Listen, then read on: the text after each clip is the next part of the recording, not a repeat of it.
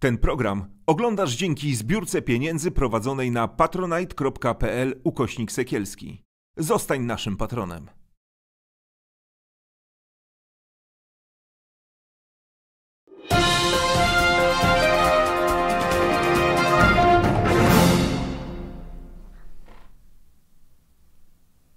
Julia Sekielska i Beata Grabarczyk. Zapraszamy Państwa na studio wyborcze, w którym dzisiaj gościmy panią poseł Kingę Gajewską. Dobry wieczór, pani poseł. Dobry wieczór pani, dobry wieczór państwu. Przed wejściem na antenę rozmawiałyśmy chwilę o szalonych koncepcjach kandydatów Konfederacji na posłów. Nie wiem, czy Państwo wiedzą, ale każdy z nich ma e, swoją metodę leczenia raka. Jedno leczy raka z zamrożoną cytryną, inne cynamonem.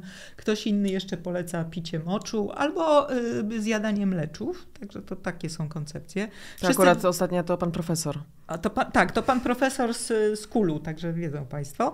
I tak będąc w tym klimacie zapytam Panią, czy ma Pani świadomość, jakie mamy szczęście, że żyjemy dzisiaj?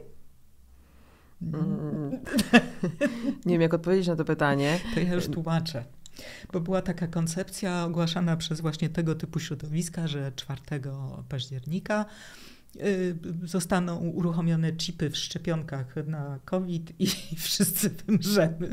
Okej, okay, czyli to dzisiaj, przypada na dzisiaj. Tak, dzisiaj. Także nie wiem, może do północy okay. jeszcze na setnie, ale na razie nawet, jest dobrze. Nawet nie wiedziałam, natomiast y, sama y, też y, zajmowałam się inwentaryzacją, mm, nie wiem jak to nazwać, pomysłów, głupot, które proponuje Konfederacja i tam jest po prostu cały wachlarz takich, tak. takich rzeczy. Ba, te, które pani cytuje, czyli mm, jakby leczenie raka, picie moczu i tak dalej, to są osoby z dalszych miejsc, powiedzmy, ale mm, też osoba z dalszego miejsca zaproponowała, żeby mm, jakby przestać zakazywać w Polsce jedzenia psów. E, I tak. pan Sośnierz, który jest jednak jednym z tych liderów Konfederacji, przyznał, że to jest jednak dobry pomysł. Że tak, on nie widzi różnicy między psem a innym mięsem.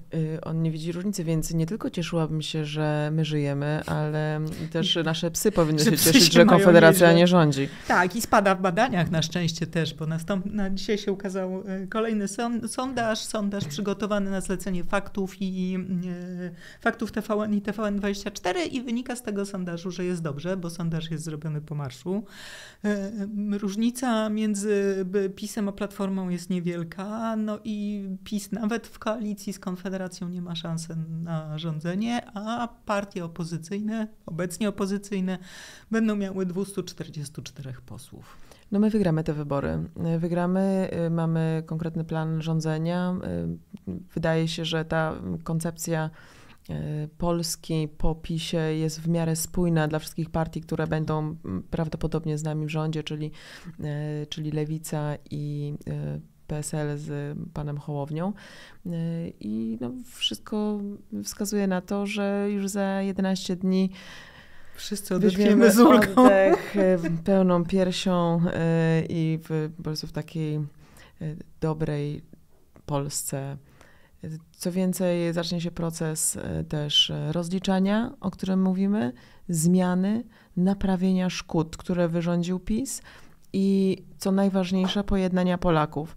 Bo mm, tak jak i rozmawiamy z Polakami na ulicach, ten ten hejt podczas kampanii wyborczej, ale on się już tak piętrzył um, latami, powiedzmy. To on wszedł w nasze rodziny i w rodzinach czasem ludzie ze sobą po prostu nie rozmawiają, nie dyskutują, y, zacietrzewiają się i no, tak nie może być, że po prostu Polskę podzieliliśmy na dwie y, kategorie. Podzieliliśmy, no Jarosław Kaczyński mówi o lepszym sorcie i gorszym sorcie, tak. chociaż dla mnie ten gorszy sort brzmi dumnie. To prawda. To ja też uważam, że na przykład to, że człowiek jest świnią, jest fantastyczne. Mają różne takie pomysły dzielenia i obrażania drugiej części. Nie wiem, kobiety, które nie zachodzą w ciążę, tak, dają, dają szyję. szyję. No, ale to jest tylko jeden z, no, no, z wielu, wielu cytatów, które były mm, przywoływane, przywoływane przez te lata. I co jest straszne, to taka bezkarność, bezkarność w tak. języku i powodem, dlaczego dzisiaj to tak wygląda, dlaczego to tak dzisiaj zostało rozkręcone po prostu do, y, niesamo, do takiej nienawiści, y, to jest przyzwolenie i bezkarność. Y, skoro władza skoro posłowie z PiSu mogą robić, mówić różne rzeczy, to dlaczego ja nie mogę? Skoro Pamiętam kilka lat temu taką sytuację, kiedy poseł Tarczyński i posłanka Arendt, powiedzmy, naruszyli moją nietykalność osobistą, mm. wykręcając mi ręce, a pani posłanka drapiąc mnie. Super. W sali plenarnej podczas posiedzenia Sejmu. I marszałek nie zauważył jakiejś niestosowności. Prokurator odmówił wszczęcie postępowania, a PiS nie zdjął immunitetu z tych państwa. Więc y, to jest po prostu przyzwolenie. I jak ludzie oglądają Sejm i widzą takie obrazki, no to po prostu, jeżeli oni mogą, dlaczego ja nie mogę na przykład na ulicy kogoś uderzyć, spoliczkować? Ale to widać, tak? To znaczy jest ten atak na pod, posła Budkę, był ten atak na posłankę Wcisło, która miała rękę na tym blaku. Potem. Nadal ma. Nadal ma, no właśnie. No więc y, tych ataków jest coraz więcej niestety i pytanie, jak zasypać ten rów, który został wykopany? Po prostu zmieniając język. My możemy się spierać, możemy mieć różne wizje, ale po prostu jakoś normalnie ze sobą rozmawiać na argumenty. Y, I ja obejrzałam sobie w ostatnich tygodniach dwukrotnie debatę z 2007 roku mm-hmm. Kaczyński-Tusk. Kaczyński I ona, jakby oś sporu była bardzo podobna, wizje Polski były bardzo podobne, ale jakoś sposób wypowiadania się, jakoś te, te zarzuty, one nie były aż takie, powiedzmy, no, no krwawe. No dzisiaj to też to, co się stało dla mnie takim punktem zwrotnym i czymś, co nigdy nie powinno mieć miejsca, ale uderzyło potwornie, to była śmierć Mikołaja Feliksa. Y, I po tym y, ja już wcześniej wiedziałam, że w jakiej Polsce żyję, ale y, tak zdałam sobie sprawę z tego i też większość ludzi, że ten język, on ma znaczenie. Słowa mają znaczenie i ranią śmiertelnie.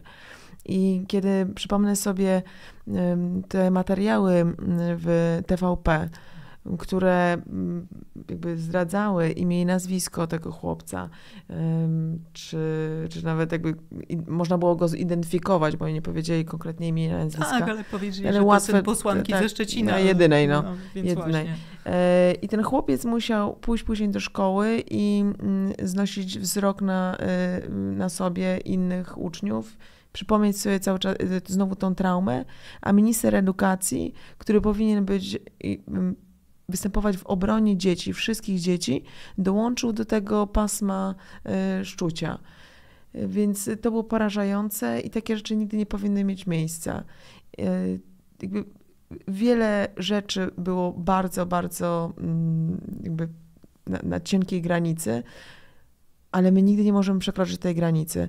I wierzę w to, że po 15 października, jak ludzie będą mieli dostęp do innych kanałów e, informacyjnych albo ten kanał informacyjny TVP po prostu się zmieni. Po prostu się zmieni. Tam będą faktycznie prawdziwi dziennikarze. Będzie jakiś obiektywizm, będzie z tej strony, z tej strony jakaś dyskusja. Ja tylko współczuję ludziom, którzy przez 8 lat oglądali tylko TVP. Oni doznają po prostu szoku ich świat się po prostu zrujnuje, więc, y, więc też będzie ciężko i trzeba będzie taki chyba przejściowy okres zrobić, bo to, to może pani, chyba nie będzie tak źle. Dzisiaj rozmawiałam y, z Elwinem Bendykiem, prezesem Fundacji Batorego, no i y, fundacja zrobiła takie badanie dotyczące tych ludzi, którzy są niezdecydowani.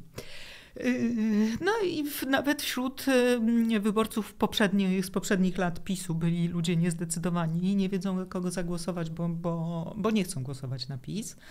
Yy, I wśród tych rzeczy, które są wymieniane jako te najgorsze, które się stały w naszym kraju, to jest współpraca PiSu z Kościołem, propaganda telewizji publicznej, jeszcze tam są jakieś takie dwa punkty. To znaczy, ci ludzie e, nie dali się omamić. To znaczy, wyborcy PiSu oglądają także inne media i oni wiedzą, co się dzieje. A i tutaj warto napomknąć, bo ja nie oglądałam całej konwencji PiSu w Spodku. Swoją drogą w ogóle 60% ludzi chce zmiany. Tak chce Tak. zmiany, y, więc to jest dobry To jest prognostyk. bardzo dobre. Ale wracając tak. do konwencji PiSu w Spodku, to tam e, premier Morawiecki na takie zakończenie puentując e, powiedział, że do swoich wyborców, do osób, które się tam znajdowały, wyłączcie na kilka dni wszystkie inne kanały informacyjne, nie oglądajcie żadnych onetów, TVN-ów i innych. No bo nie daj Boże się dowiedzą po prostu, co się, co się dzieje na świecie. I teraz, y, dlaczego o tym mówię i dlaczego to jest tak, tak ważne? My w swojej kampanii skupiliśmy się na ofensywie prawdy. Mm, Mamy 1200 gmin, które mają głównie dostęp tylko do TVP Info. Y, To są małe gminy. I, I to są właśnie Podkarpacie, to są gdzieś tam i tu, i tu, jest, i tu chcę Tat, powiedzieć, że Tatrek. to, to jest y, zmylenie. To nie jest tak. 30 kilometrów od Warszawy, to jest mój okręg wyborczy. Tam PiS wygrywa nie w prezydenckich, tylko w wyborach parlamentarnych 77%. Platforma Obywatelska ma 9%. Jest 82% dla PiSu, 7% dla, y, dla Platformy. Znaczy, to są y, po prostu druzgocące dla nas. ym, Tak, to y, jest fascynujące, że w, no to jest przecież dwa to jest bardzo blisko, Warszawy, ale tak? to tylko pokazuje, że my tam po prostu wcześniej nie byliśmy. Dlatego w naszej kampanii skupiliśmy się na tej ofensywie prawdy i my jeździmy do tych gmin. Ja przychodzę na spotkania również z politykami PiSu. Nie przeszkadzam im, nie rozwalam tych spotkań, nie jestem ani ozdobą, ani kantakiem, ani tym bochenkiem, którzy przychodzą i po prostu nie dają konferencji prasowej zrobić. Nie krzyczę. Ja tylko przychodzę i apeluję do ludzi w jedną minutę. Bardzo Was proszę, uprzejmie proszę, sprawdźcie informacje dotyczące afery wizowej w innym źródle informacji. I oczywiście część mnie wyzywa, że jestem złodziejem i mordercą, ale część milczy. Część milczy i na pewno zakłuje się jakieś ziarno niepewności. Na pewno sprawdzą.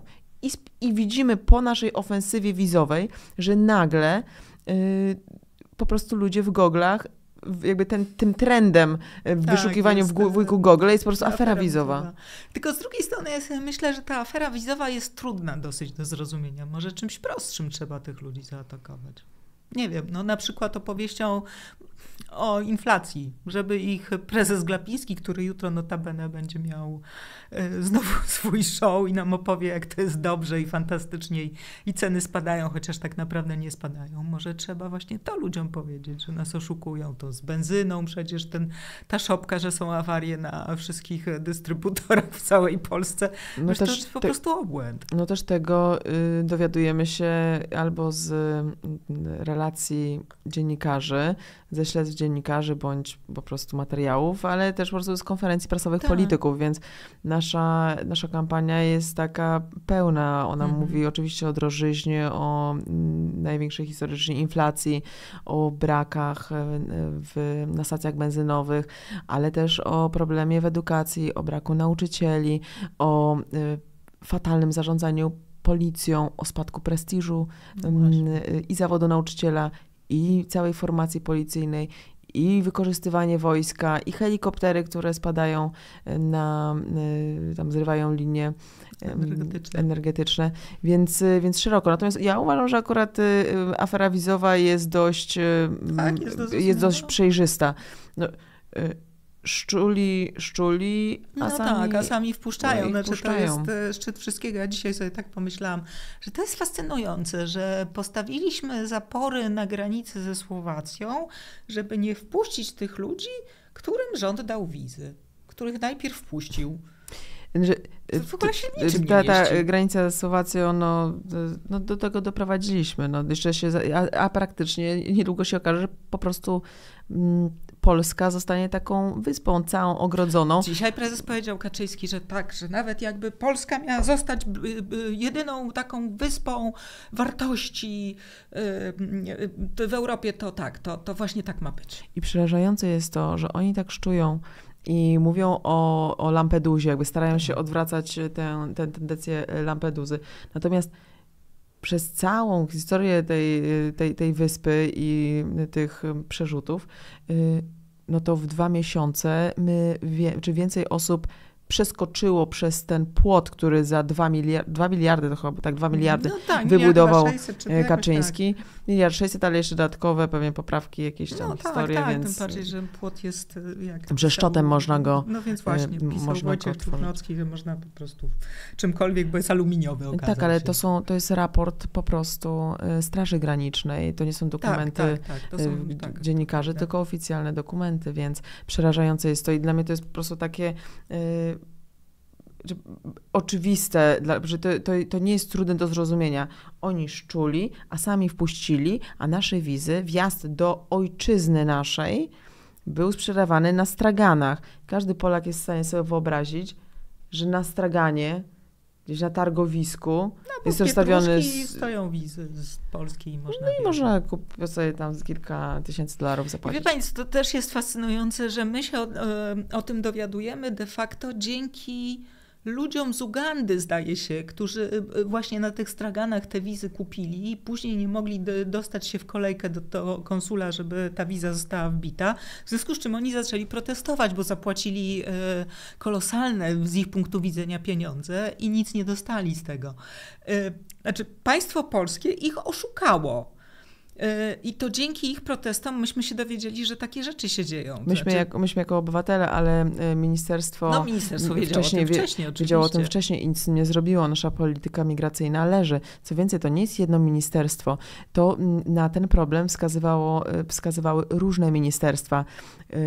Innym problemem, oprócz tych e, sprzedaży naszych wiz na straganie, są osoby, które chcą studiować tutaj, Tak. przyjeżdżają, dostają wizy, a po miesiącu bądź po tygodniu po prostu wyparowują. Ich nie ma. Nie monitorujemy, co się z nimi dzieje, gdzie one są. Czy są terroryści? Ja Dzisiaj bodajże widziałam jakieś dokumenty, że tam, że mamy, na, że 600 osób, czy tam 500 osób było z czarnej listy, takiej, który, takich osób, które w ogóle nie powinno przekroczyć naszej y, y, granicy Schengen. Ale wie pani, no to, to oni idą do Niemiec, to my się tym nie przejmujemy. To Niemcy mają problem. I to, to ja rozumiem, że to Jarosława Kaczyńskiego cieszy. Co prawda to jest bardzo krótkowzroczne, bo, bo to rozsadza całą Europę i jest absolutnie na korzyść Putina, ale Jarosław Kaczyński, tak jak samo sobie mówi, jeden z najmądrzejszych ludzi w Europie. Ja nie wiem, co się dzieje z tymi ludźmi. My, ani rząd, nie jesteśmy w stanie stwierdzić, co się dzieje z tymi ludźmi. Czy oni- nie chodzą tutaj, czy, czy ci terroryści nie chodzą na przykład między y, wiem, mieszkańcami Warszawy. Co planują? Jaki mają sprzęt? Jakie mają zaplecze? Kogo jeszcze sprowadzą? Tego nie wiemy. I y, przerażająca jest taka bezradność polskiego rządu. I jako obywatelka nie czuję się bezpiecznie. Nie czuje się pani bezpiecznie? Nie czuję się bezpiecznie, a hasłem PiSu to bezpieczna przyszłość Polaków. Więc y, do Glapińskiego stand-upera dołączyła osoba, która mm, wymyśliła to hasło. Tak, To pewnie pan tak. Poręba. To pewnie pan Poręba, E, który wczoraj też się pokłócił tak z Bielanem. Na Twitterze to też jest Twitterze? pasjonujące, się panowie kłócą. Tak, ale kłócą jakimi słowami. Ty żeś uciekł y, po Smoleńsku, zostawiłeś Tak, nas po tak, Smoleńsku tak, i tak. przestań swoim brudnym paluchem. Brudnym, tłustym paluchem. Ale w ogóle, dobra, i, i właśnie, właśnie to jest to, jak oni mają taki szac- szacunek do siebie, tak się odnoszą do siebie, to proszę sobie wyobrazić, gdzie oni mają zwykłego Polaka. Co Zwykły- oni uważają w ogóle o, o Polakach? Przecież jakby, jakby mm, jak nasze życie zależy tak naprawdę od nich, a oni y, nawet siebie nie szanują. No i to jest ten język, nie? To jest ten, ten No język. to Polak jest, potrzebny. jest moim zdaniem po prostu taką, takim pioneczkiem, tak, który się przestawia tam gdzie, pasuje, tam, gdzie pasuje rządzącym. Ale ja się zastanawiam, pani poseł, dlaczego na przykład państwo w trybie, w trybie wyborczym nie, nie zaskarżają telewizji publicznej? No, która opowiada, że jest 60 tysięcy osób na, na marszu, kiedy każdy, no każdy może po prostu nawet palec mu się omsknie i włączy sobie inną telewizję i nagle przeżyje szok. Y, To prawda. Y, Telewizja publiczna opowiada o tym, że było 60 tysięcy osób, ale mi się wydaje, że dużo, że to jest tak, to jest tak ewidentnie, ewidentne. Oni mogli wymyślić sobie jakąś każdą inną liczbę. No, że tam parę sześć, 200 tysięcy, 300 tysięcy. No tak jakoś, żeby w miarę... No ale y, prezes powiedział 60, musi zostać no i musi 60. zostać 60. Y, Tylko, że wzmianek o Marszu Miliona y, Serc było w internecie 300, ponad 300 Już milionów pierwszego dnia. ponad- tak, pierwszego Dzisiaj, dnia, tak. A dzisiaj mamy tam 500, e, jest. 500 milionów, więc fala e, jakby uderzeniowa, informacyjna o tym, ile tam się osób znajdowało, była po prostu największym wydarzeniem internetowym e, w historii, Tak. e, w historii Polski. Nie było takiego, e, te, takiego wydarzenia w, e, zbierającego ludzi, jeszcze w internecie się po prostu ludzie do, dowiedzieli o tym wydarzeniu, więc każdy e, z ludzi, którzy tam był, którzy tam byli, udostępniali zdjęcia. No i teraz, jak patrzysz na się, no jakikolwiek człowiek zobaczy te zdjęcie, no to przecież widzisz, że to jest po prostu ocean ludzi, a ten mówi o 60 tysiącach, więc tak po prostu pokazuje ewidentnie, że, yy, No że widać to kłamią, że kłamstwo, są... tak, ale wie pani, taki, jak, e, taki proces i takie przypieczętowanie przez sąd tego, że to jest po prostu kłamstwo i propaganda. Myślę, że to też fajnie robi, tak? Że, że, to, że, że właściwie już nie ma czym, o czym dyskutować, nie ma jak tego usprawiedliwiać. Nie można mówić, że to pomyłka była, że ktoś tam y, y, czegoś nie dosłyszał, zera nie dopisał i tak dalej. Tylko sąd mówi, to są kłamcy. Ja- No, mamy, mamy już kilka procesów, y, procesów wygranych ze sobą. Mhm. Taką osobą, która zawsze przeciera szlaki jest y, Agnieszka Pomaska. Ona nie odpuszcza nikomu i teraz wygrała z y, Anną Zalewską, ale też wygrała z Patrykiem Jakim.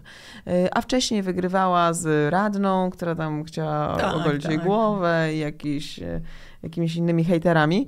I faktycznie ona walczy mocno z, z tymi kłamstwami w przestrzeni publicznej i się to bardzo skutecznie udaje. Tak, Ale też Morawiecki już, wiesz, Ma- Morawiecki już ma tę łatkę kłamcy i Pinokia. No, no tak, Już- znaczy on już w społeczeństwie jest e, n- naznaczony tak, tą, tym, tą, tą łatką. E, e, Ale też właśnie tak też mnie zastanawia, czy to jest e, z państwa strony jakiś zabieg wyborczy, że jak przychodzi właśnie ten e, e, ozdoba z jakimś kantakiem czy innym bochenkiem i przepychają się do, przed mikrofonami, to państwo ustępują. Nie mówią, nie odpychają ich, i, że my tutaj jesteśmy na konferencji, tylko państwo ustępują, niech oni się wygadają. To też jest taki rodzaj e, e, no, metody na wybory? Powiem tak, jak mi się też zdarzyły takie No sytuacje, trudno, żeby że, się pani że- przepychała, tak? Bo, ale jak chłopaków się i tam przyszli, postawi. I przyszli y, i nas przepychali, no to jest takie trudne, y, trudne, Szokujące. sz- szokujące. I też my musimy zachować jakoś godność y, No tak. wykonywanego urzędu. No na pewno się nie zniżymy do tego, y, do tego poziomu i nie będziemy się z nim przepychali. No też pan Ozdoba ostatnio zakłócił konferencję prasową kandydatki naszej Aleksandry Wiśniewskiej z Łodzi Tak. i Radosława Sikorskiego i po prostu przeszkodził w wypowiedzi no, kobiecie. Więc to jest coś takiego y, uderzającego. Jakby swoich konferencji nie mogli. No ale jeszcze taką osobą, która bardzo oberwała podczas tych, mm, tych konferencji prasowych, był Arkadiusz Myrcha. Jak pamiętam, to taki był viral już internetowy, jak Janusz Kowalski y, pluł na niego, Tak. mówiąc Janusz, to przestań było pluć, cudowne. przestań pluć. To było cudowne, tak, tak. Janusz nie pluj już. Przestań. To było świetne, tak. To, to, Tak, to prawda, więc jakby i są na to różne, y, są na to różne sposoby i no, jakoś sobie y, dajemy radę. Natomiast to się skończy, to się skończy na pewno. To, co jest straszne, to konferencje prasowe, y, to była jedna konferencja, ona mi zapadła bardzo w pamięci, kiedy dziennikarz, pseudodziennikarz, pan Rachoń, przyszedł na konferencję prasową Donalda Tuska przed TVP i po prostu był agresywny. Krzyczał, przerywał, przepychał się. No to jest coś nie- niedopuszczalnego, a przecież mógł zaprosić go do studia telewizyjnego. A z drugiej strony oni chcą, mówią, nikt nie przychodzi z Platformy Obywatelskiej, po czym przychodzi nasz kandydat, Michał, Michał, Kołodziejczak. Michał Kołodziejczak, a oni go nie wpuszczają, wysyłają na niego ochronę, a pod TVP stoi już radiowóz z tam kilkoma patrolami, żeby go utemperować. Więc to jest po prostu przerażające, jak to, do czego my doszliśmy. Jeżeli to wszystko się naprawdę zakończy od poniedziałku, od 16. Następnego, tak, od następnego. Od 16. Jeszcze, jeszcze ten poniedziałek musimy... To jest naprawdę, to jest naprawdę przeżyć. trochę, ale my musimy też, i to jest bardzo ważne, o czym, o czym mówimy, musimy po prostu to y, rozliczyć. Nie Tak. może być tak, że mm, zostaną w jakiejś bezkarności. Też przyszłe pokolenia muszą zobaczyć, że są granice. Y, Mamy pytanie od naszego widza. Julia zaraz nam przeczyta. E, tak, e, Ryszard 2102X e, pisze. Chciałbym zapytać, czy jest szansa, że rozliczycie PiS? Czy znowu będzie kapitulacja? Czy jako kobiety dostrzegacie problemy kobiet w małych miejscowościach? Czy coś się poprawi?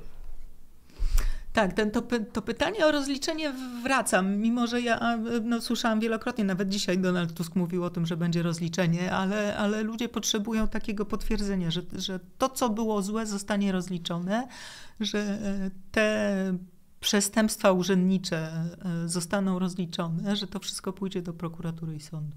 E, tak, powiedziałabym nawet, że my już jesteśmy bardzo gotowi. Mamy konkretne artykuły, konkretne osoby. My od 8 lat w tych swoich szufladach wszystko gromadzimy. I Czyli dowody są. Dowody są, chociażby nie wiem, z mojej działki e, edukacji. No jest minister Czarnek, który sam osobiście podpisał te konkursy rozdawnictwo na Wille Plus i po prostu tak. sam będzie musiał za to odpowiadać. Zresztą NIK już też przygotował e, swoje dokumenty na ten temat, więc mamy również potwierdzenie e, i po prostu trzeba będzie to rozliczać, ale są, to, to jest tylko minister Czarnek. No właśnie. Cieszę się, Cieszę się, że, że to jest minister Czarnek. Ale tych osób jest naprawdę sporo. Jest e, Sasin no, e, za się, wybory. cały rząd jest. No, po prostu jakby człowiek przyłożył do każdego ministra coś. Tak, więc na naszej stronie internetowej z programowej 100 konkretów mamy dokładnie wypisane wszystkie nazwiska, kto, za co, gdzie. Natomiast to nie my będziemy ich sądzić. Będą robiły to niezależne sądy. I to to jest y, zmiana. To jest zmiana, którą chcemy dokonać, że y, jakby no, nie będziemy sterowali ręcznie prokuraturą. Ta instytucja powinna być niezależna. I też minister Ziobro będzie musiał odpowiedzieć za swoje rzeczy. Natomiast nawet w niektórych przypadkach nie będziemy musieli jakoś szczególnie wszczynać postępowań, bo niektóre już trwają. Ja przypomnę, że dla, dla, tych, którzy często mają jakieś zarzuty y, do Platformy, że my nie rozliczaliśmy, no ale pan, y, pan Wąsik i pan Kamiński byli skazani, tylko wyrok się nie zdążył uprawomocnić, bo ich kolega partyjny, dzisiaj prezydent Andrzej Duda, czy wtedy też, po prostu ich ułaskawił. Czyli skazany gość za przestępstwo po prostu pełni tak odpowiedzialną funkcję. Ich dwóch pełnią tak odpowiedzialne funkcje. I teraz Sąd Najwyższy y, jakby nie, nie spoczął na laurach i będzie kontynuował tą sprawę. Jeszcze raz będzie ona procedowana. I takich rzeczy jest sporo, więc y, dla przyszłych pokoleń to musi być po prostu e, zrealizowane. A co z tymi kobietami w małych miasteczkach i na, na wsiach, jak e, zadbać o ich prawa? No bo przecież e, no, często tam kobiety są stłamszone, no co tu dużo kryć. No jest taka, taki u nas sposób wychowania, taki patriarchalny, wynikający z nauki Kościoła, że, no, że kobiety są jakoś podporządkowane facetom. Y, jak chcemy się czegoś więcej dowiedzieć o patriarchacie, to wystarczy wejść na jedną z pierwszych, lepszych spotkań Janusza Korwina-Mikke, gdzie tak, tam się tak. spotykają chłopaki i mówią, że no, kobieta to jest troszeczkę więcej dobytek. niż zwierzę, ale to, to jest jednak dobytek, no, tak jak dziecko mniej więcej, ale sama nie powinna głosować do 55 roku życia. Więc jakby to jest ta kwestia. Natomiast tak wracając, nie, nie traktuję tego zupełnie, nie traktuję tego poważnie. To jest niebezpieczne, trzeba skończyć w ogóle z mhm. takimi dyskusjami, z taką mową. Natomiast ich, i, i pragnę, żeby wyborcy Konfederacji albo ci, którzy zastanawiają się, czy nie zagłosować na Konfederację, dowiedzieli się szeroko, co oni myślą o kobietach. Natomiast jak poprawić rolę, yy, sytuację życie, kobiet, sytuację tak. kobiet, w wszystkich kobiet, no ale powiedzmy, że tych. Mm, które na przykład mają dziecko, urodziły dziecko, a chcą wrócić do pracy. A takich kobiet jest 90%, które chcą wrócić do pracy, a 50% mhm. wraca. Więc y, rozwiązaniem y, dla tych kobiet byłoby tak zwane babciowe, Jedni wolą mówić babciowe, drugi, y, inni aktywizacja kobiet. Do trzeciego roku życia taka kobieta, która, wróci, życia która wejdzie do pracy, do trzeciego roku życia dziecka, taka kobieta, która będzie wracała do pracy, dostanie 1500 złotych mm, takiej, jakby takiego wsparcia i będzie mogła go przekazać albo babci, albo niani, albo na żłobek. No i teraz ten żłobek. Też sprawdziliśmy, w ilu gminach w Polsce nie ma żłobka. Ilu? Na 2700 gmin to nie mamy żłobka w 1200 gminach, w 1200 Czyli gminach. połowa. W połowie gmin po prostu nie ma żłobka, więc nawet jakby kobieta chciała posłać do żłobka, to po prostu nie ma takiej instytucji. Mm, I to, do czego my się deklarujemy, to jest, aby w każdej gminie powstał taki żłobek. Tabletka mm, 72 Mm, godziny tak. po. Y, To jest coś, co szczególnie jest ważne dla kobiet w małych miejscowościach, bo one nie mają dostępu do y, ginekologa, żeby na receptę, na No telefon właśnie. w piątek, nawet w Warszawie czasem jest trudno y, zdobyć taką receptę, więc to powinno być jakby przywrócenie takiej, takiej możliwości uzyskania takiej tabletki bez recepty. Kolejna rzecz, dla mnie całkowicie oczywista, fundamentalna, w ogóle nie rozumiem tej dyskusji, dlaczego nie finansować in vitro z budżetu państwa. Przywrócenie po prostu finansowania Oczywiście. y, z budżetu państwa. I jeżeli kobieta bardzo chce mieć dziecko, rodzina, w sensie kobieta, mężczyzna chcą mieć dziecko, to dlaczego państwo ma im tego nie ułatwić? Taki zabieg kosztuje czasem 30 tysięcy złotych, a nie ma y, jakby pewności, że uda się za pierwszym razem i tacy ludzie biorą po prostu kredyty, szczególnie właśnie w małych miejscowościach. A co za różnica jest, że ktoś mieszka w małej miejscowości, czy w dużej miejscowości, czy zarabia tyle i tyle. Co? Stać na dziecko może być tylko, tylko bogatych ludzi? To jest dla mnie rzecz nie do pomyślenia. Jeżeli ktoś chce mieć dzieci, to po prostu y, państwo powinno zrobić wszystko, szczególnie w takim kryzysie demograficznym, żeby je miało. Julia, pytanie. Mam, mamy znowu pytanie. Julia nam przeczyta. E, tak, pytanie od Anny. Kto zostanie rozliczony za wyprowadzenie policji na ludzi? Także na panią. Sytuacja, sytuacja związana z Otwockiem jest y, bardzo trudna. To nie jest, y, to, to, to, co się dzieje w policji, to nie jest tylko skandaliczne zachowania policji podczas wiecy, y, po- czy tam podczas manifestacji. Y, To, y, to, co się stało z polską policją jest bardzo przykre i my pierwsze co przywrócimy prestiż munduru, No, choć to tak nie szybko będzie tak, nie choć to nie będzie no tak właśnie. szybko. Ale nie chcę powiedzieć, że wystarczy tylko nie kazać policjantom ubierać się w skrzydła anielskie i nie wiem, żeby prze, z helikoptera z- konfetti tak. spuszczano z, Na wiceministra. na wiceministra, albo że policjanci ani wojsko nie powinno być ścianką do konferencji prasowych. Ale to jest aż tyle. I z drugiej strony mamy dzisiaj 94 tysiące, tak około 94 tysiące policjantów y, na 107 etatów. 100 tyś- y, 107 tysięcy etatów. I teraz w w Polsce brakuje, z ostatnich danych wynika, że brakuje dwuna- 12 tysięcy funkcjonariuszy. Mamy tyle wakatów. I teraz ja się zajmowałam, że zajmuję edukacją. I jak sobie przełożę to na edukację, jaka tragedia jest w szkole, jak brakuje nauczycieli. Tylko nauczycieli na samym końcu jest około 700 tysięcy, a 20 tysięcy wakatów. Teraz trochę to rozmyli, dlatego że y, po prostu nauczyciele są pozatrudniani w kilku szkołach, na kilka etatów, No tak, mogą pracować ile chcą. szkoły, tak.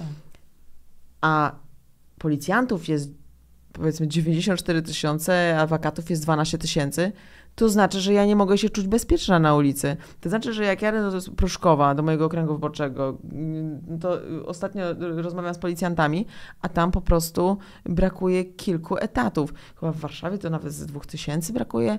To, to są po prostu przerażające liczby. To znaczy, że y, jakby doprowadziliśmy do tego, że ludzie nie chcą pracować w policji. I to nie tylko ze względu na zarobki.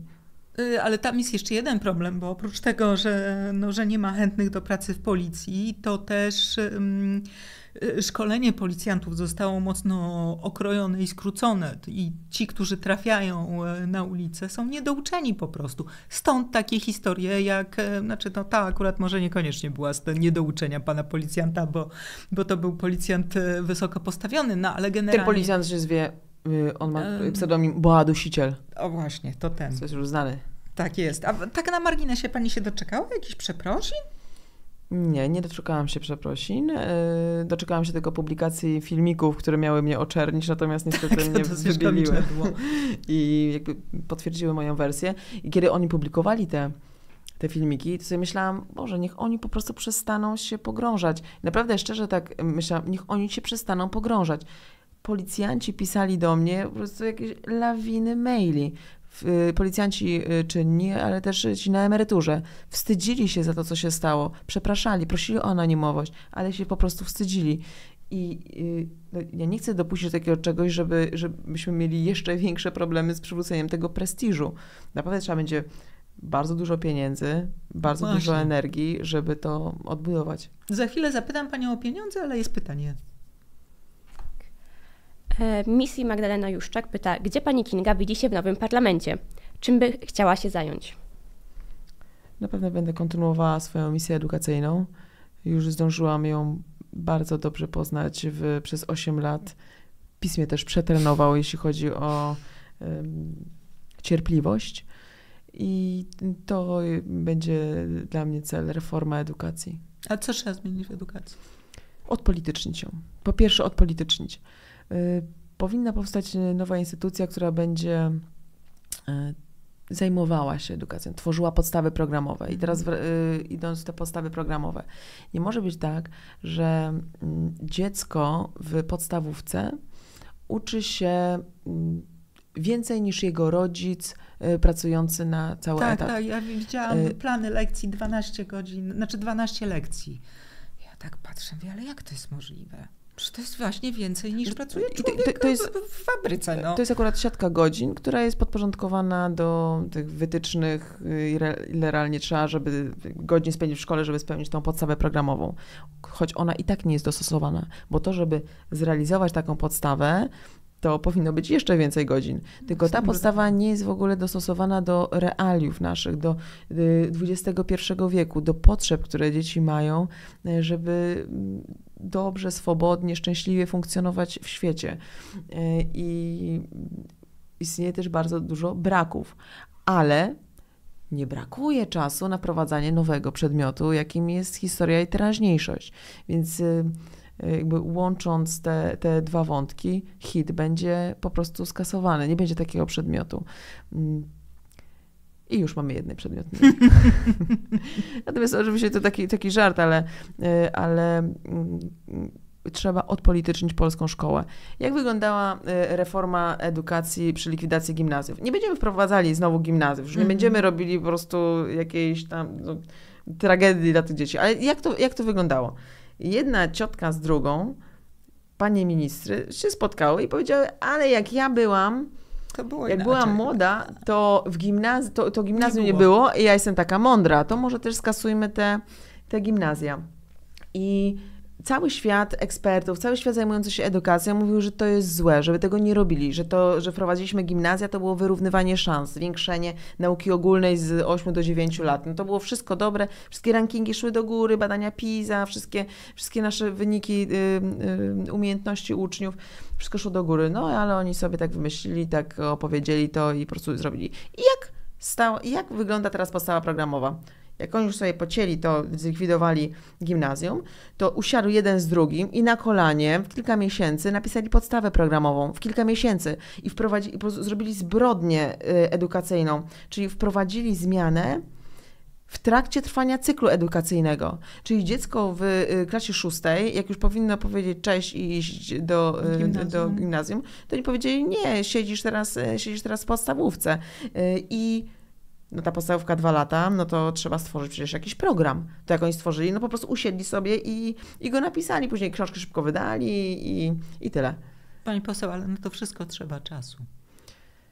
Tak, na zmiany podstaw programowych trzeba e, czasu. Też przecież e, jak będziemy rządzili, to w tym roku, w, w tym roku przecież nie skasujemy uczniom hitu. No. Ale, e, ale już w następnym roku tego nie musi być. Ale docelowo powinna powstać niezależna instytucja składająca się z ekspertów i z praktyków, która będzie się zajmowała tymi podstawami programowymi. Czyli co, wyjęta spoza ministerstwa? Wyjęta spoza ministerstwa, powinna mieć e, autonomię. E, zobaczymy, w jakiej formie jeszcze ona będzie, bo tutaj środowiska edukacyjne, e, których jest naprawdę sporo, bo to są i nauczyciele, i dyrektorzy, i samorządy, i, i, i związkowcy, no bardzo, i rodzice, i sami uczniowie też powinni mieć wpływ na to. Y, i razem wspólnie podejmiemy decyzję, jak powinna wyglądać nowa instytucja. Ale nie może być to tak, że to są politycy. Politycy dla polityków, z kolegami, z żonami swoimi, piszą podstawy programowe, z żonami robią podręczniki. Y, później pan Roszkowski mówi w podręczniku dzieciom z in vitro, że hodowla ludzi, że to nie są kochane. Tak. Są niekochane. Y, Pytanie mamy kolejne. E, Tak, tak, tematycznie. Ben Kruczek pyta, Pani Kingo, czy jest Pani za odchudzeniem podstaw programowych? Tak, zdecydowanie tak. Y, Jak y, ostatnio czytałam z wymagań egzaminacyjnych, bo tak podstawa programowa jest, a później się Mhm. do tego robi wymagania egzaminacyjne, czyli coś, z czego później CKR robi egzaminy. tak.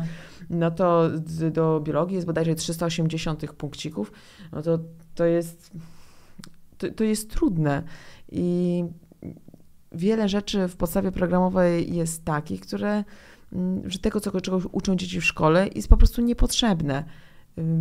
Niepotrzebne nam w ogóle do życia. Już nie chcę wymieniać już tego standardowego pantofelka, ale y, jest sam No sposób uczenia się dat, rzeczy, y, tak, nazwisk, no, coś, co można sprawdzić po prostu sobie w internecie, na Wikipedii. Nikt nie będzie Co- głupszy, że kogoś... różnica, tak, żeby jakaś bitwa była 25 czy 27. No. W ogóle nie jest ta wiedza nam do niczego potrzebna. Tylko jest jeszcze, y, y, bo to, to, to jest, wydaje mi się, w miarę, w miarę łatwe zmienić tą podstawę programową. Natomiast no, ja nie mówię, że zupełnie łatwe, tak, ale, ale to jest pewnie jedna z łatwiejszych rzeczy, które w szkole trzeba zmienić, bo największym problemem jest y, sytuacja psychiczna dzieciaków. I teraz co z tym zrobić? My nie mamy psychiatrów dla dzieci. U nas psychiatrów dla dzieci to są w ogóle jakieś e, potworne niedobory. M, No, ludzie, którzy się kształcą na, na lekarzy, nie chcą się tym zajmować, bo to jest potwornie obciążający no, p- problem, tak? Jak przychodzi takie dziecko i, i opowiada o różnych rzeczach, e, o których żaden normalny człowiek nie chciałby pewnie słyszeć. Co, jak, jak sobie z tym poradzić? No, Kryzys zdrowia psychicznego dzieci i młodzieży jest od czasów COVID-u bardzo widoczny Straszliwie. wzrost y, y, liczby prób samobójczych i samych samobójstw udanych. Natomiast y, mm, jakby szkoła, mm, a szpitale to są dwie inne rzeczy. W szkole też nie będziemy psychiatrów y, mieli, tylko to będą osoby, które raczej będzie w, tej, w tym elemencie medycznym. Natomiast Mhm. u- w szkole psycholodzy i pedagodzy, którzy są dobrze wyszkoleni, wrażliwi i to nie jest tak, że można w ustawie zapisać, jak minister Czarnek w ustawie zapisał, że w każdej szkole powinien być jeden psycholog, że nie jeden psycholog tam na wys- wystarczającej liczbie, y, żeby obsłużyć powiedzmy tych, tych uczniów. No to jest zapis w ustawie, ale realia są zupełnie inne. Taka fundacja Growspace tuż przed rozpoczęciem roku sprawdziła, zinwentaryzowała gminy, w których nie ma takich y, ani jednego Mhm. psychologa. W województwie podkarpackim w 50% szkół nie było ani jednego psychologa. W 450 gminach Polsce nie ma ani jednego psychologa. No to są dramatyczne. Dlaczego te dzieci, co oni, oni zasługują na psychologa? One nie zasługują na pomoc? I, I łatwo jest, mówię, zapisać w ustawie. Tylko nie jest tak, że tych psychologów nie ma. Bo oni są na przykład już y, w zdrowiu. Mhm. Y, Tylko, że w zdrowiu taki psycholog zarabia mm, tam ponad 5 tysięcy złotych. Ja nie pamiętam dokładnych y, Jasne. liczb, ale to jest ponad 5 tysięcy złotych. Natomiast w takim, y, w szkole zarabia minimalną, y, bo zarabia tyle, ile nauczyciel.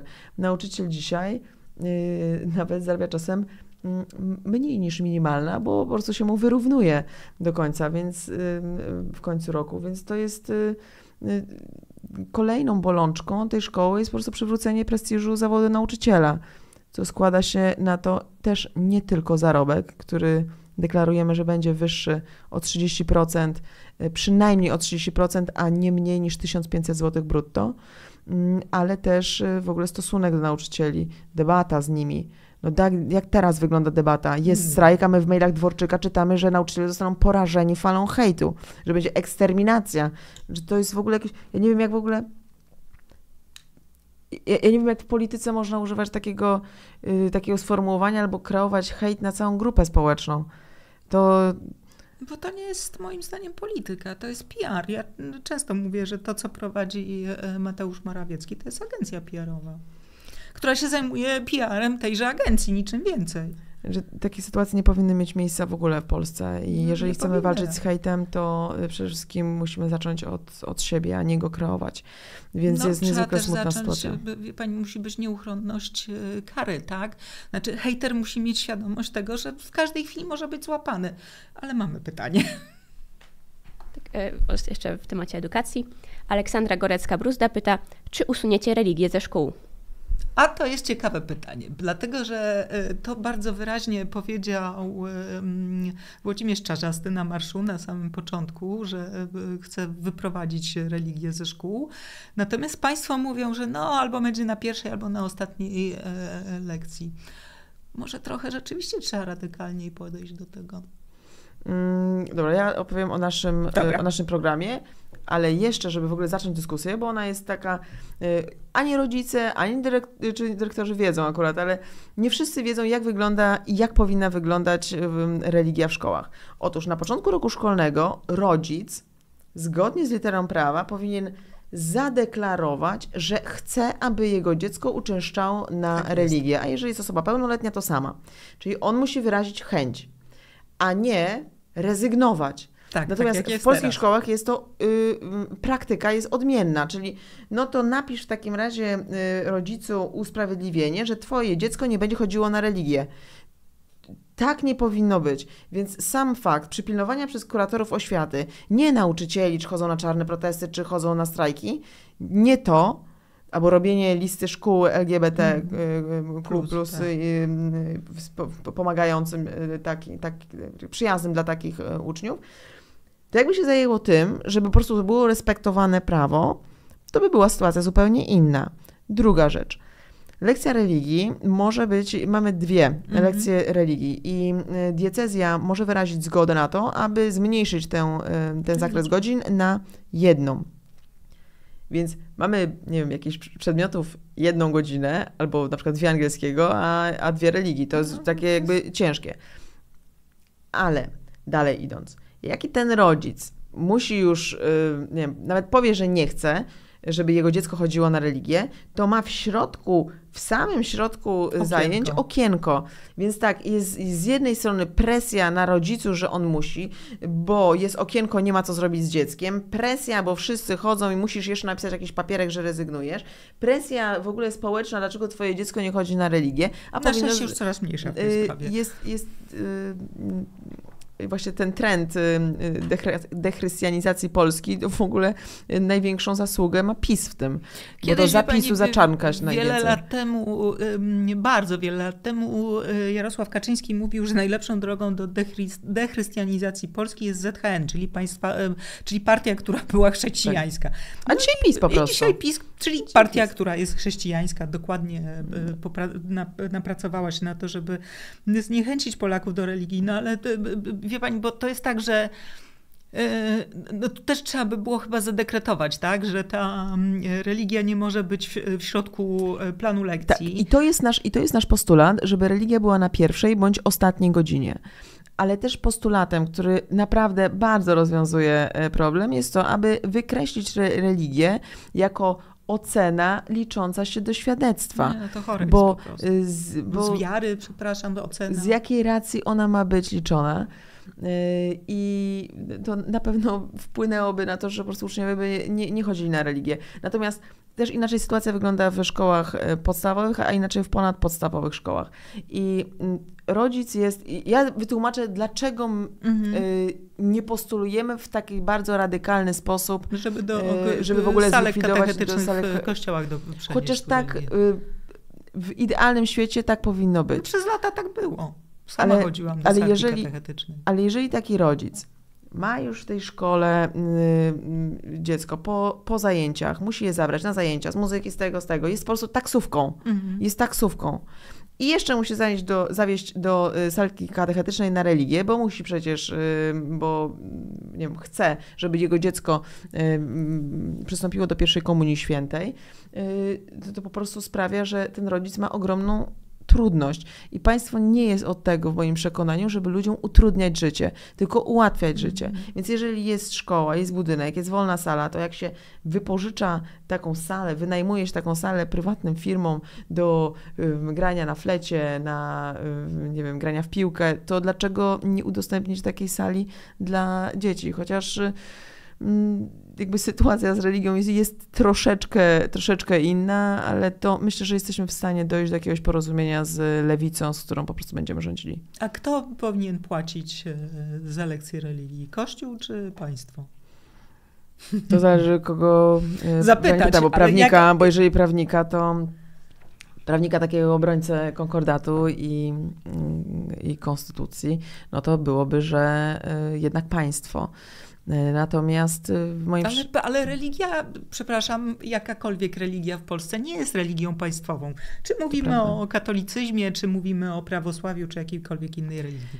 To nie są religie państwowe. My jesteśmy mhm. państwem świeckim. To dlaczego państwo ma za to płacić? Wiem, ja, y, ja, nie będę obrońcą tego. Ja nie będę, ja nie będę tego y, obrońcą tej, tej tezy. Natomiast czytałam y, kilka ekspertyz konstytucjonalistów, którzy bronią tej tezy mhm. i oni wskazują na to, że jak już czysto sobie porozmawiajmy tak. tak hipotetycznie, ale oni wskazują na to, że e, w konstytucji e, no jest jakby prawo do tego, żeby rodzic mógł wspierać się właśnie szkołą w przekazywaniu takiej wiedzy, której sam by nie potrafił w sposób um, umiejętny, umiejętny tak, przekazać. przekazać. Więc no ja się z tym nie, no, nie będę e, dyskutowała. Na razie to nie jest e, naszym priorytetem. Nie no, jest jakby wyprowadzenie, czy nie wyprowadzenie religii, ale ograniczenie religii w szkołach jest priorytetem jednak. No to jest oddzielenie państwa od kościoła, likwidacja funduszu kościelnego, to jest naszym priorytetem i jest w stu konkretach, w stu konkretach, które będziemy realizowali w ciągu pierwszych stu dni. I to, i to jest akurat naprawdę na, na szybko do zrobienia, bo, bo nie jest skomplikowane legislacyjnie. Tak, to prawda. No, jest i nie jest, no bo będzie, będziecie mieli, że tak powiem, zawsze no prezydenta. Będzie, będzie, trwał, będzie trwał też rok szkolny. E, to jest jedna rzecz, no ale z drugiej strony przy wszystkich tych e, pomysłach, które są zaplanowane na te 100 pierwszych dni, te, te 100 konkretów, one wymagają jednak e, po przyjęciu ustawy, ta ustawa musi być podpisana przez prezydenta, a prezydent jest z PiSu. I co z tym zrobimy, z tym mm. klopsem? Mamy kilka na to pomysłów. Które zostaną ujawnione dopiero po wyborach. Mamy na to kilka pomysłów, natomiast no, ja może należę do mniejszości, ale jednak wierzę w jakieś ambicje prezydenta w ogóle, żeby jakkolwiek Proszę pani, się...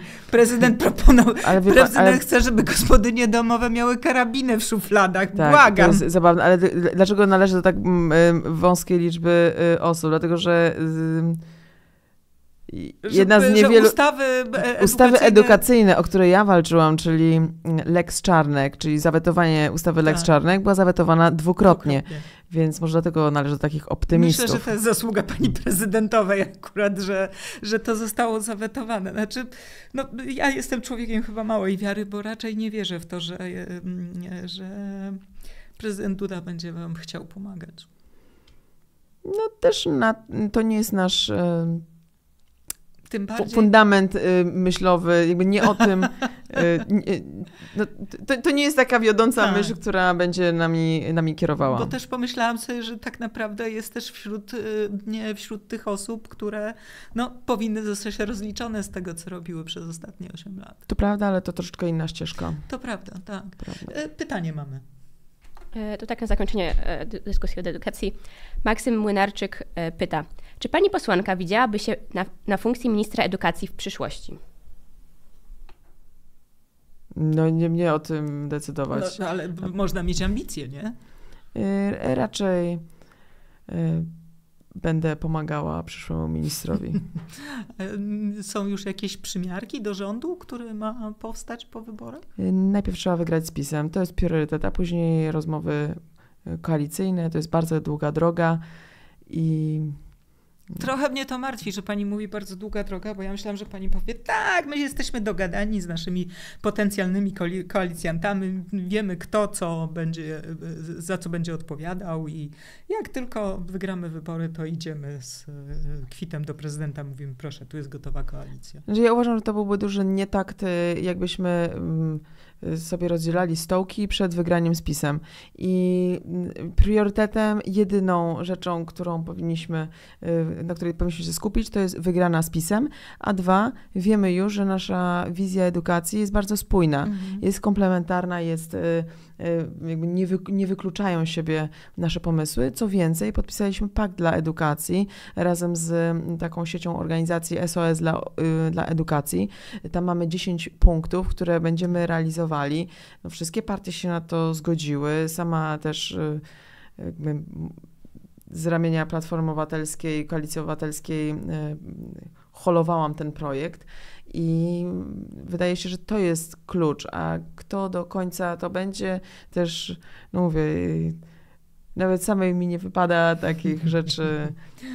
No, myślę, że może gdzieś tam jakiś Taka cichości gabinetów, może coś tam się odbywa, no bo byłoby fajnie, żeby to wszystko ruszyło szybko, wie pani, bo ludzie są złaknieni właśnie nadziei, tej, tego takiego wzięcia powietrza i żeby to powietrze było takie sycące. Ja wiem, że po tym marszu wszyscy wiedzą, że my wygramy. My też wiemy o tym, że wygramy, ale po prostu też rzucić się na te stanowiska, to, to nie jest... To nie chodzi o stanowiska, bo można, wie pani, powiedzieć, no dobra, obszar edukacji będzie należał do tej partii, tak? I to ona wskaże, wskaże kandydata na ministra. No może chociaż tak.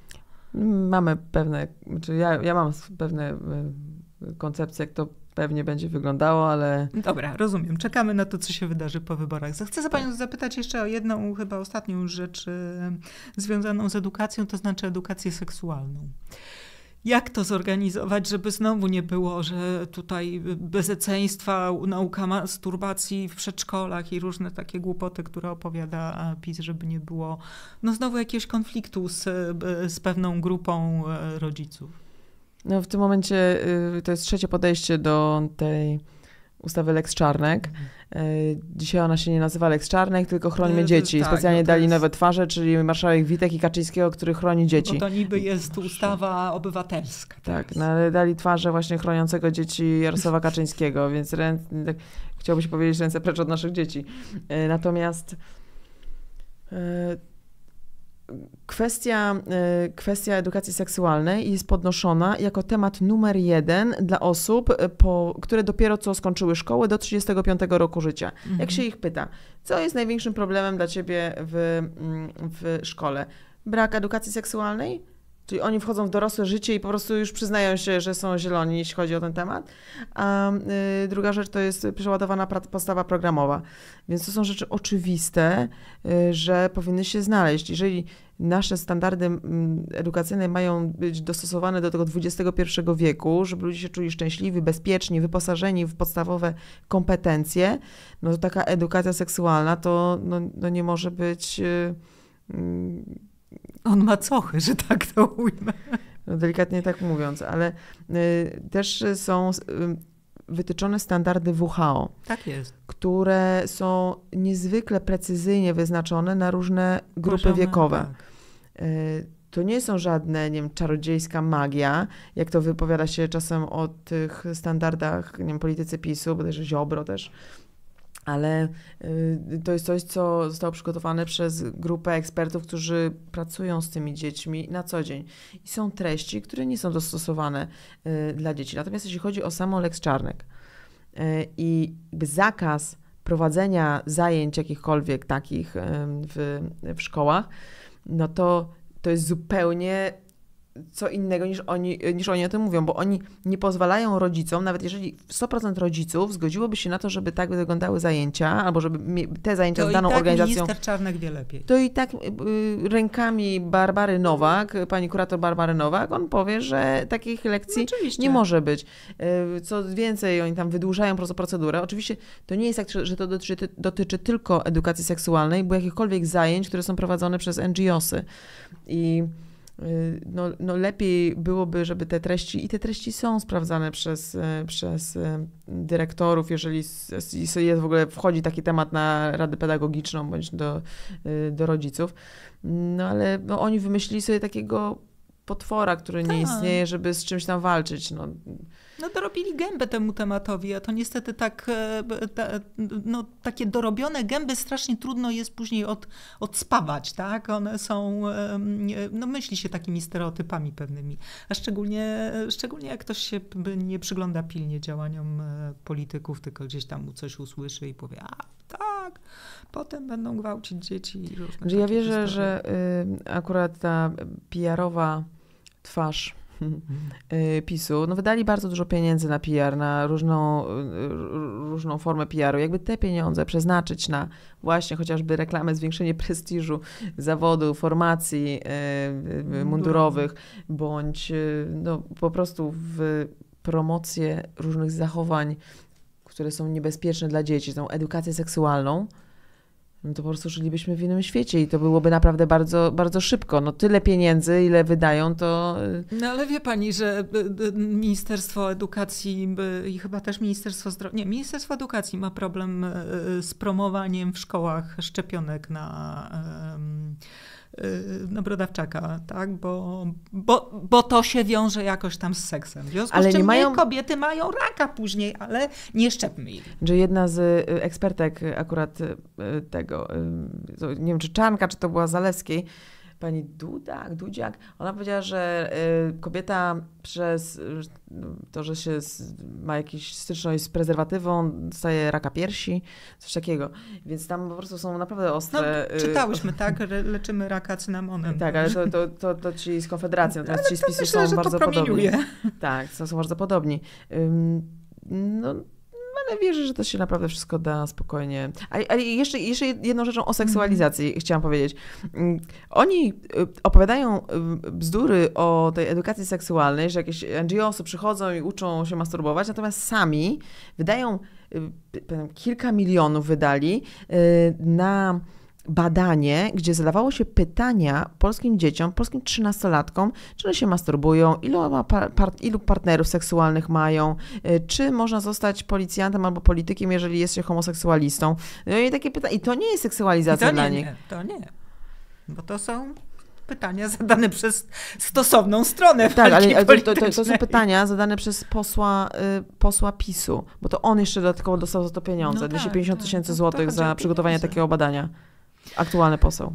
Zastanawiam się, jak państwo odbiorą te pieniądze i, i w ogóle ile to wszystko, to unormalnienie zajmie czasu i, i jak, jak, dużo będzie kosztowało, no ale cóż. Mamy bardzo dużą determinację. Bardzo dobrze, to mi się podoba, aby tak to, by tak to trwało. 11 y, dni, wytrzymamy. Bardzo dziękuję pani poseł. Dziękuję serdecznie. Pani posłanka Kinga Gajewska była naszym e, gościem. Już się żegnamy z Państwem do jutra, a jutro to Kuba Bierzyński, prawda? Tak, jutro Julia Mikiwa, że Kuba Bierzyński. E, taki kobiecy nam dzisiaj program wyszedł, bo same dziewczyny w studiu. Bardzo dziękuję, Beata Grabarczyk. Do zobaczenia. Dobranoc Państwu. Ten program oglądałeś dzięki zbiórce pieniędzy prowadzonej na patronite.pl ukośnik Sekielski. Zostań naszym patronem.